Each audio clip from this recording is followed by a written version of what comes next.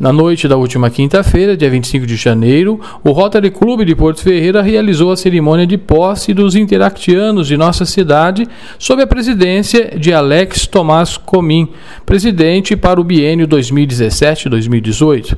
A cerimônia compareceram as autoridades rotárias, lideradas pelo governador do distrito, 4540, Jorge Luiz Toledo, e sua esposa, Flávia Cristina Nascimento, coordenadora das Casas da Amizade. O presidente da Comissão de Novas Gerações, Adalberto José Menegaso, e sua esposa, Sueli Menegaso.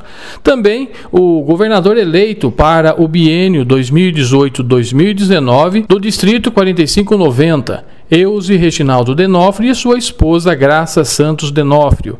A representante distrital do Interact, Pérola Borges, autoridades municipais, representadas pelo presidente da Câmara Municipal de Porto Ferreira, Miguel Bragione, sócios rotarianos e honorários, convidados, pais, familiares dos interactianos de Porto Ferreira. Foram empossados 12 interactianos, que em seguida, sob a coordenação do rotariano Mário Irineu Salviato, apresentaram brilhantemente os projetos que elaboraram com vistas a beneficiar a comunidade ferreirense.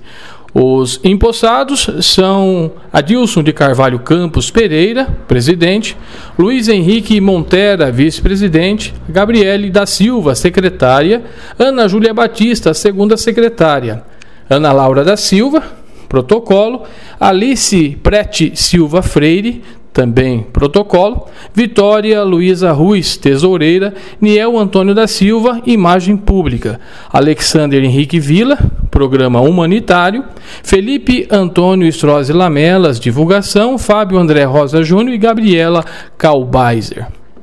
Após a cerimônia de posse, todos puderam saborear um delicioso jantar de confraternização.